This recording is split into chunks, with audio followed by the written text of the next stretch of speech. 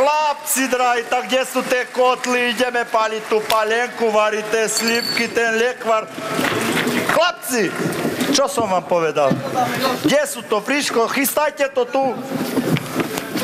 Víti to tu cez tú palenku? Taká trňava, vykvitnú viera s vršok má.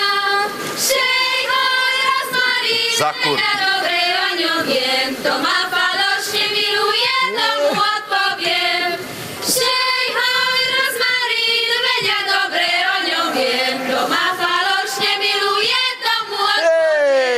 Ej, devčata, vidím, že vidíte z poľa, vidím, že ste dobre nazberali. Joj. Máš, pravdu, tento rok bola dobrá úroda. Tieto veľké idú na palenku. Chlapci, Nie, ale... Počkajte, chlapci, budeme sa rovnako deliť so slivkami. nebudeme. Palenky treba viac. Lebo prečo? My všetci pochádzame zo slivky. Tak, zo slivky je slivovica, zo slivovice je opica a z opici sme my. Takže ešte tri košiky na palenku. Ideš!